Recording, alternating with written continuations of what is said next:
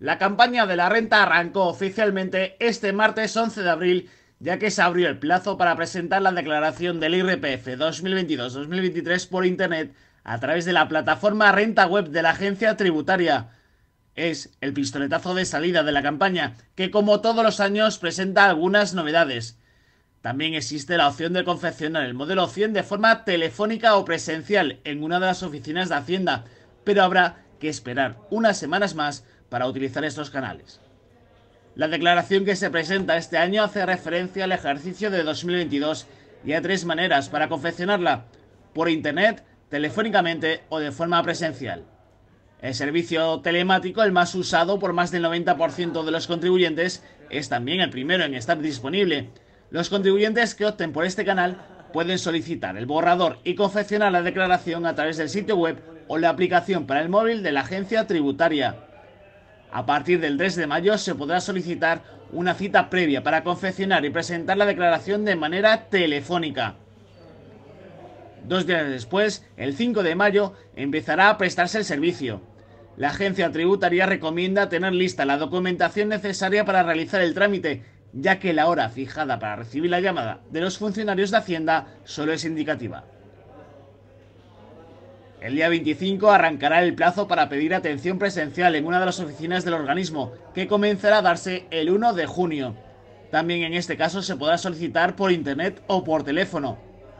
El día 29 finaliza la posibilidad de solicitar cita previa tanto telefónica como presencial. Con independencia del canal elegido, la campaña terminará para todos el 30 de junio. Sin embargo, si el resultado es ingresar, hay que tener en cuenta que el plazo límite para domiciliar el pago es de tres días antes, el 27 de junio. Recuerden que no siempre es obligatorio presentar la renta. En líneas generales, deben presentar la declaración aquellos contribuyentes que percibieran por ingresos del trabajo más de 22.000 euros durante el ejercicio, siempre y cuando tuvieran un único pagador, o en caso de tener varios, la suma del segundo y posteriores no supere los 1.500 euros. Si este límite se sobrepasa, el umbral se reduce a 14.000 euros. En caso de estar en ERTE, hay que considerar que el Servicio Público de Empleo Estatal se considera como un pagador más.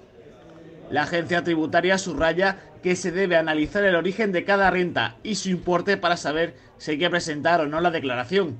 Además, recuerda que hay casos en los que se exige el modelo 100 aunque no se superen los umbrales antes mencionados, por ejemplo, ser beneficiario del ingreso mínimo vital, una ayuda que está exenta de tributar en la renta, obliga a presentar la declaración por IRPF, con independencia de la cuantía de sus ingresos.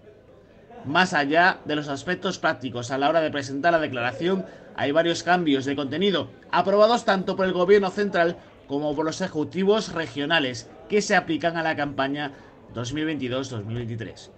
Una de las novedades de esta campaña es que la deducción máxima por aportación a los planes de pensiones individuales baja de los 2.000 a los 1.500 euros, mientras que sube de 8.000 a 8.500 euros en el caso de planes de empresa.